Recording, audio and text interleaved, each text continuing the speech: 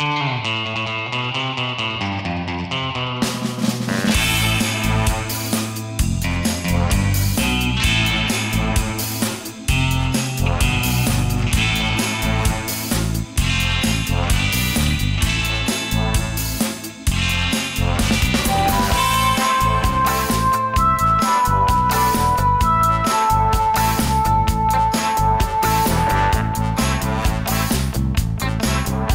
presidential election is over, and I'm worried.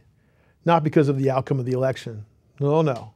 Because I've got nobody, nobody calling me on the phone every Saturday to tell me how important I am. And I'm also worried about who is going to pay for all those commercials that are needed to keep the television networks in business. Well, the food industry and those who care about food safety have their own worries now that the election is over. They want to know what's going to happen with all of those rules and guidances that have been hanging around all year because the administration has been reluctant to push the go button on them, reportedly out of fear that they might be used as political ammo in the election. Now that the election is over, no need to hold back anymore, right? Well, actually, I'm worried about that too, because it will be our job at Food Chemical News to read and write about all those big regulations, even if they all come at the same time. Please, not right before Christmas. Hello, I'm Jason Huffman, the editor of Food Chemical News, and you're watching the Knife and Fork Show. One of the agencies that has quite a few regulations pending is the USDA and its Food Safety and Inspection Service Division.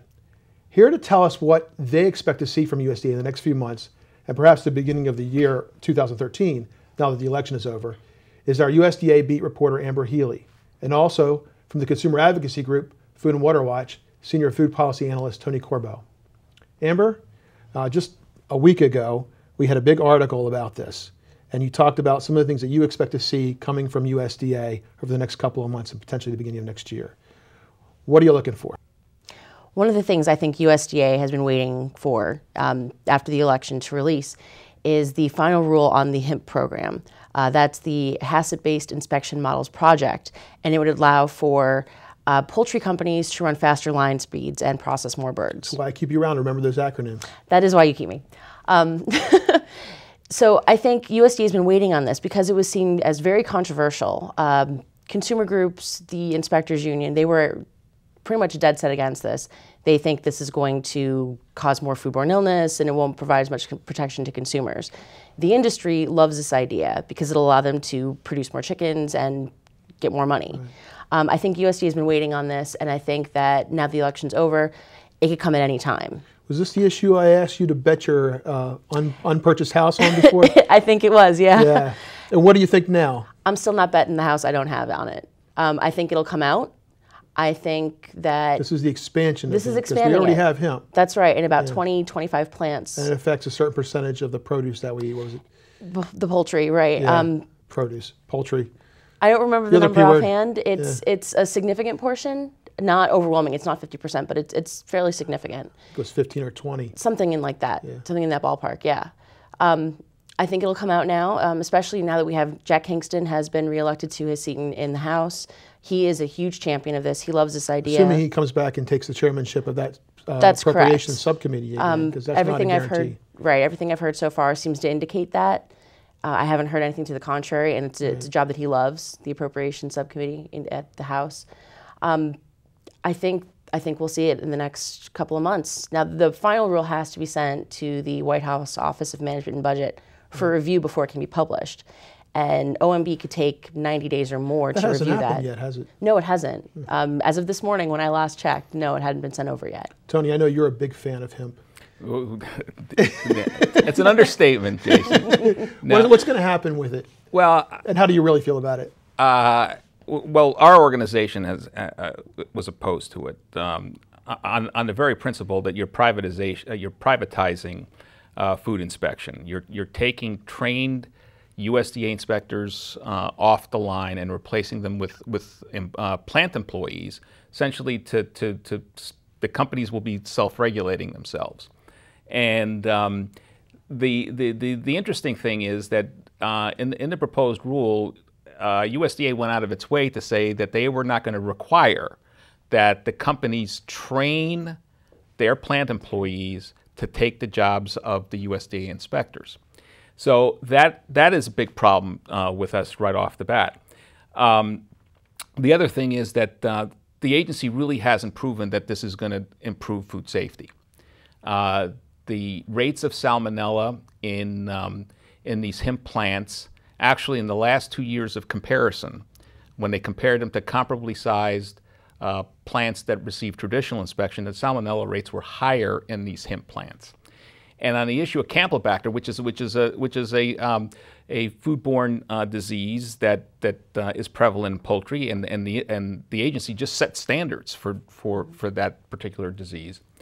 Um, the agency could not make a prediction as to whether the, the rates would go higher or lower using this, this privatized inspection model. Right. So we're opposed to it. There's another issue here. The fact that they're going to allow the companies to increase their line speeds to 175 birds per minute. That means that that there, there will be one USDA inspector at the at the end of the production line, but that means that one inspector will will have to inspect each bird in a third of a second. Mm. And well, so, well, let me stop you right there because we're going to go through about two more subjects, and I know yeah. you could go on and on and on yeah. about HIMP because you love it so much. Yeah, right. Uh, but uh, we are going to have to have someone coming on from the poultry industry eventually to defend HIMP. Right. I think just for balance purposes. there's your invitation, uh, NCC. Send somebody onto the show, and we'll, we'll mm-hmm. talk to mm-hmm. them about HIMP as well. Um, let's tackle another issue. What else have you got on your list? Uh, another thing that I think has been sort of waiting in the wings, um, maybe not as controversial at large as the, the, the prospect of expanding HIMP, and that's HACCP validation. Uh, this is something that the agency has been working on for the past few years. And basically, what it's doing is putting forth guidance to say, you've got your HACCP plan, show us how it works, show us why you feel it's going to work in the way that it's, that it's supposed to work. Uh, show your work, basically, um, show us your documentation. Um, the agency first put out a draft on this in early 2010, and it was so badly done that several members of several USDA uh, officials came up in front of an auditorium at, at the USDA offices and said, We really messed this up. It was more confusing than we wanted it to be. We're going to take it back. We're going to try this again. And they sent it out again. They sent it out again in, in early this year, early 2012. Um, it received only like 20, 25 comment letters that I saw and there were still some concerns that USDA did the not sufficiently. generally was happier with the second take on it. That's my for the most part. But they, they did have some other issues that they still felt needed to be resolved. One of the top among those concerns um, is that USDA has yet to say that not having gone through a HACCP validation before, that there's a food safety concern here. Um, USDA is responsible for protecting food safety, and yet if they can't make a connection, why are they putting the putting processors through all these hoops and, and making them go through this long, extensive process? The industry, some members of the industry are also concerned that a, an inspector coming in to do his daily rounds will find everything fine. And then six months later, there'll be a food safety mm. assessment, which is a really in depth, detailed investigation, and find everything wrong. Got just one more minute, so I want to get one more issue. Sure. And this is the one I really want to spend a little bit of time on, so I'm going to kind of go a little bit long on this. Okay. Um, antibiotic resistant salmonella. Mm-hmm. What's going to happen? I think this is the sleeper. I think this is the one okay. that people have maybe forgotten about. Um, in 2011, the Center for Science and the Public Interest petitioned USDA asking for the agency to declare as adulterants four different strains of antibiotic resistant salmonella uh, Salmonella Hadar, Salmonella Heidelberg, Salmonella typhimurium, and Salmonella Newport. These have been linked with illnesses, but they're not considered adulterants at this point. Um, if a product is found to be contaminated with antibiotic resistant salmonella, of those four strains in particular, a recall will be initiated. Um, the most high profile of this was back in August of 2011 when 80 people got sick after eating contaminated ground turkey. Mm. Um, Jennie-O, a major turkey company, right. they changed their advertising to have a little note on the bottom saying, you know, cook to 165 to make sure that you would kill anything there. Right. Um, USDA has not addressed or answered CSPI's petition. Um, I think this might be the time. Uh, former Undersecretary of Food Safety Richard Raymond told me last week that he feels that if the agency is ever going to take a stand on this, that current Undersecretary Elisabeth Hagen and FSIS Administrator Al Almanza might have the strong enough spines to do it. Yeah, and, and, and, and we're supportive of the CSPI petition. Uh, when when HACCP um, was uh, uh, brought into being in, in the uh, in the mid 1990s, one of the um, uh, facets of that rule was to have salmonella performance standards that were enforceable. The industry legally challenged that, those standards and knocked them out. So, so, so for FSIS to hold the industry accountable for salmonella, you have to declare it as an adulterant. And so it makes sense since you have these four antibiotic resistant strains that, that are difficult to treat because by their very nature, um, they are superbugs.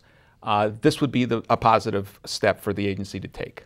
Okay. Well, 10 minutes goes fast here. We didn't get to all the subjects that we wanted to cover. There's a zillion more things that are happening that are likely to happen mm-hmm. at the USDA in the next couple of months.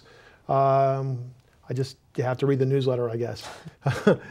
so that's all the time we have. Stay tuned because Amber and Tony are coming back for another conversation, this time about an investigation into whether a certain kind of pet treat might be causing the illness and even deaths of our best friends.